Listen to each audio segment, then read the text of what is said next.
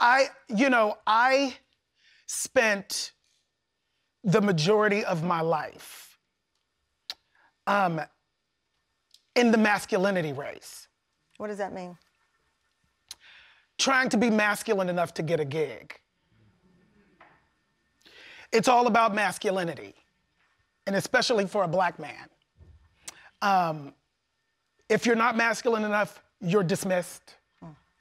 Um, you can't work. You don't get jobs. You don't get work. It's it's it was a real thing for me at the beginning. Well, it, for my whole life, it wasn't whole life. just the business. Did you feel that you had to fake it until you make it? Well, I was just trying to be masculine enough, you know, to get the gig. And then when I was about 40, I said, I'm gonna take myself out of that race. I'm gonna take myself out of that because clearly I'm not masculine enough. We ran into each other. We were flying to Boston. Yes, we were. We're like on a 4 a.m. flight. we're both like eye masks, hiding in front of people. And you, as they say, you shook me because you told me this story about Ryan Murphy. When Yeah. you got the call from him about unpacking some of the pain from the Yeah. childhood, some of the rejection in the early part of your career Yeah. to get where you are now. Yeah. What did Ryan tell you? Well, you know, we, we had been working for, for the first season pretty much, and he called me to lunch, and um, he essentially called me out because he said, okay, look, I want you to lean into the joy. And I took a, you know, I took a breath, and he's like, I know what it's been. I know how hard you've worked. I know it's hard to trust where you are now.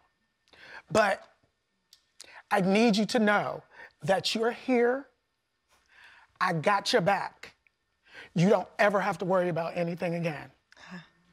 And, you know, for a person who spent 13 years not working, bankruptcy, you know, all of the common things that everybody talks about, I went through them all, you know, and it just took my breath away. You know, you really do just need one person in a position of power, you know, to open the door. I wasn't asking anybody to give me anything for free.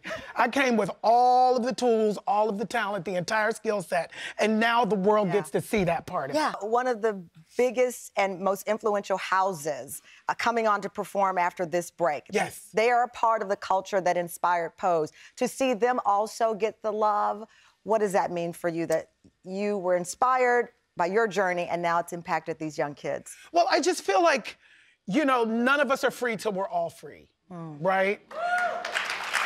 And so, the space that we're in, where it's seemingly, we're seemingly so divided, Yeah.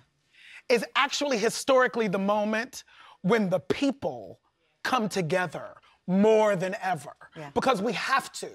Because we're required to, otherwise, the whole thing will implode. And so, creatively, we have always been at the forefront Yeah.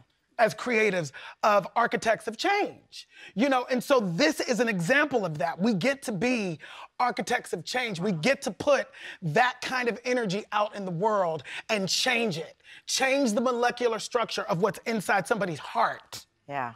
You know, and that is what creates the change for good, because that's what we need.